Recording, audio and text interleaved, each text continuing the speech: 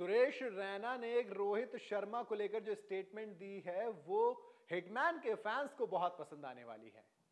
दरअसल विराट कोहली और Rohit Sharma Indian cricket team को जो टी ट्वेंटी वर्ल्ड कप में खेलने के लिए अवेलेबल हो गए हैं, उनके फैंस इस वक्त बहुत ज़्यादा खुश हैं।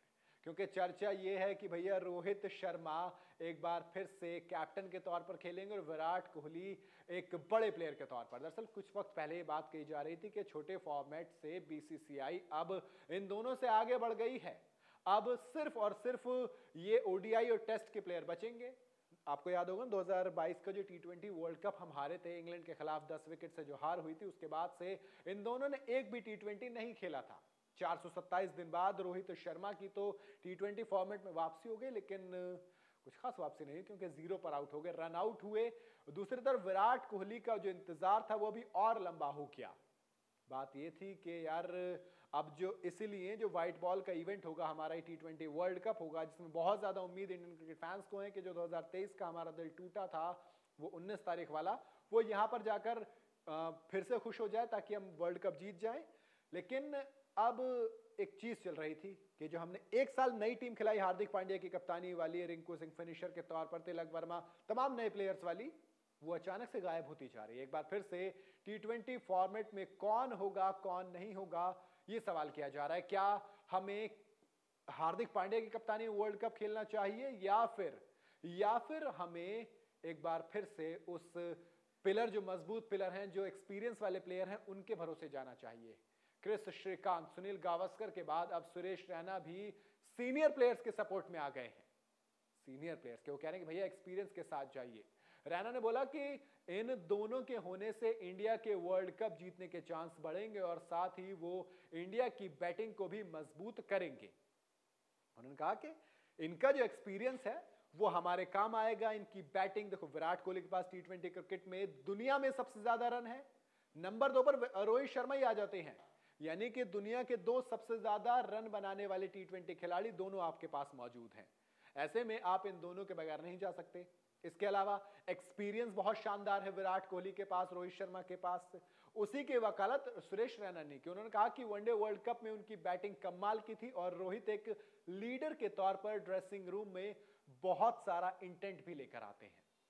आपको याद होगा ना 2023 का जो ओडीआई वर्ल्ड कप था, उसमें रोहित शर्मा का जो इंटेंट था, वो पूरे वर्ल्ड कप में दिखा, वो टेंपो जो रोहित शर्मा सेट करते थे, पूरी टीम उस टेंपो पर रोल होकर चलती थी और सामने वाली टीम को पहले इनिंग में लगभग गेम से बाहर कर देती थी। महज औपचारिकता बचती थी दूसरे इनिंग और रोहित शर्मा का वही इंटेंट विराट कोहली का वही एग्रेशन टीम इंडिया की बॉलिंग पेस बॉलर से डोमिनेट करना, वो बताता है कि इन दोनों की जुगलबंदी में टीम इंडिया किस तरह से परफॉर्म करती है।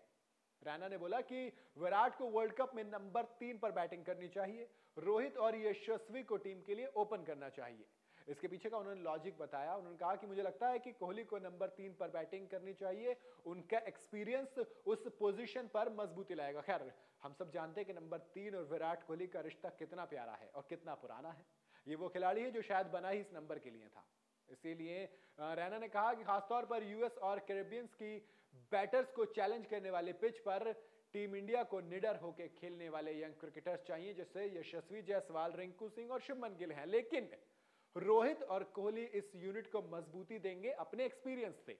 वर्ल्ड कप जैसे हाई प्रेशर इवेंट में जब हम किसी टारगेट का पीछा कर रहे होते हैं, तब ये एक्सपीरियंस बहुत ज़्यादा ज़रूरी हो जाता है, बहुत ज़्यादा काम आ जाता है।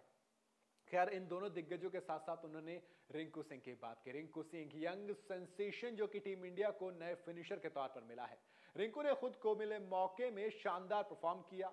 उन्होंने मैच को फिनिश करते वक्त प्रोसेस ऑफ़ माइंड भी दिखाया। प्रेजेंस ऑफ़ माइंड इतना काम रखा खुद को, इतना काम के मतलब मतलब कोई प्रेशर है ही नहीं गेम है तो मेरे पाले का गेम है। इज़ लाइक फिनोमिनल लीडर आप वो जो झलक देखते हैं ना एम एस धोनी वाली, वो बिल्कुल नज़र आती है और ऐसा वक्त लगता भी है कि अगर आने वाला वक्त चला इसी तरह से तो या तो युवराज सिंह वाला फॉर्म जो हमें कमी थी, वो पूरी कर देंगे। बाकी वक्त बताएगा, आगे चलता हूँ। सुरेश रैना ने कहा कि वो एक निडर क्रिकेटर है, उनको टीम में रखना ज़रूरी होगा और अगर ऋषभ पंत वक्त पर फिट हो जाते हैं तो टीम में एक और मैच विनर होगा। यानी कि सुरेश रैना ने दोनों की वकालत कर दी है कि भैया इनको खिलाइए, क्योंकि अगर आपको वर्ल्ड कप चाहिए तो आपको कुछ ऐसे खिलाड़ी टीम में चाहिए जिन्हें कोई फ़र्क नहीं पड़े कि हमारी क्या पोजीशन है, जो फंसे हुए मैच को निकालना जाने, जो एक्स फैक्टर बनकर टीम को मैच जिताए। ये रिंकू सिंह और इनके साथ साथ विराट कोहली, रोहित शर्मा, ऋषभ पंत बनकर आते हैं। खैर, एक वापसी की है अफ़गानिस्तान के अगेंस्ट दोनों ने। जल्दी उम्मीद करेंगे कि फॉर्म में भी आए और टी ट्वेंटी फॉर्मेट में वर्ल्ड कप से पहले, क्योंकि बीच में सिर्फ़ आईपीएल बचेगा, फिर आपके पास टी ट्वेंटी क्रिकेट में परफॉर्म करने के लिए फॉर्म में आने के लिए, उसके बाद सीधा वर्ल्ड कप आपको क्या लगता है क्या रोहित शर्मा और विराट कोहली को वर्ल्ड कप में खेलना चाहिए? मुझे कमेंट में ज़रूर बताइएगा। वीडियो अगर आपको पसंद आई तो लाइक और शेयर ज़रूर करें। जाते हो तो चैनल को सब्सक्राइब करते जाए।